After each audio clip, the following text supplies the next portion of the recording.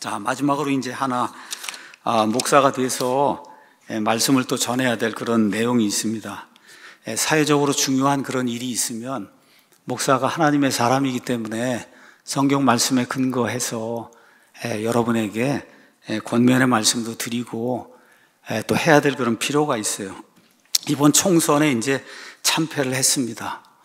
예, 여기에 대해서 잠깐 커멘트를 하도록 하겠습니다. 예, 먼저 윤석열 대통령, 그 다음에 이제 예, 한동훈 비대위원장, 먼저 이제 감사하다, 이런 말을 먼저 드립니다. 여러분, 2년 동안 자유 지켜줬으니까 이거보다 더 감사한 일이 어디가 있어요? 맞습니까? 예, 아, 2년 동안 자유를 일단 지켜줬으니까, 예, 이거보다 감사한 일 없고 특별한 일이 없는 한 일단 3년은 더 지켜줄 거 아니에요?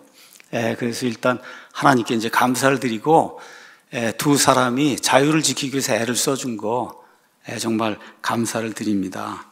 자, 그런데 이렇게 소극적으로 자유를 지키는 거 이거를 위해서 무명의 윤석열을 하나님이 대통령으로 만들어 주신 게 아니에요. 어떤 사람이 한 나라의 대통령이 되고 할 때는 시대적인 사명이 있는 겁니다. 시대적인 사명. 예, 그래서 시대적인 사명. 윤석열은 왜 대통령이 됐냐? 종북 주사파 세력을 척결하라고 하나님이 세워주신 거예요. 제가 여러분에게 윤석열 대통령 당선되었을 때, 이 아합을 척결했던 예후라고 한 사람 이야기를 들면서 이 아합을 척결했을 때 예후가 비록 믿지 않는 왕이었지만 하나님께서 그에게 복을 주시고 그 아들 손자에 이르기까지 왕권을 유지하면서 부유하게 살 수 있도록 하나님 만들어 주신 이야기를 했습니다.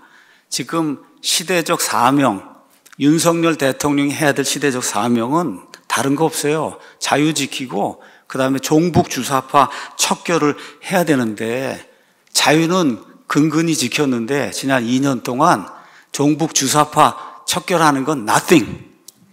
예, nothing이에요. 말만 무성해요. 말만 뭐 이렇게 하겠지.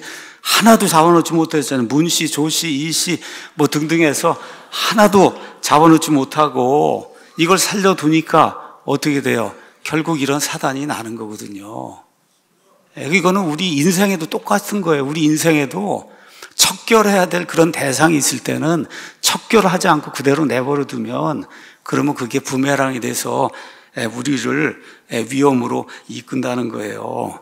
그래서 아직 이제 3년이 남았으니까 뭐 거국 내각이 이런 거 다 집어치우고 뭐 해야 되느냐. 다른 것은 성경 말씀에 의거해서 제가 말씀을 드리는 거예요.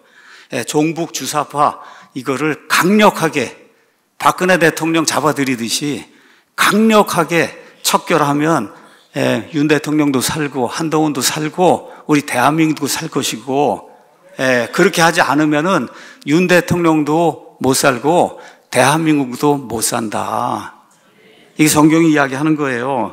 열왕기의 사무엘기 하 23장에 가서 보니까 다윗 왕이라고 하는 왕이 40년간 통치를 하고 이렇게 이야기를 했습니다. 이스라엘을 하나님께서 말씀하시며 이스라엘의 반석에서 내게 이르시기를 사람들을 다스린 자는 반드시 의로워야 하고 하나님을 두려워하는 가운데 다스릴지니라.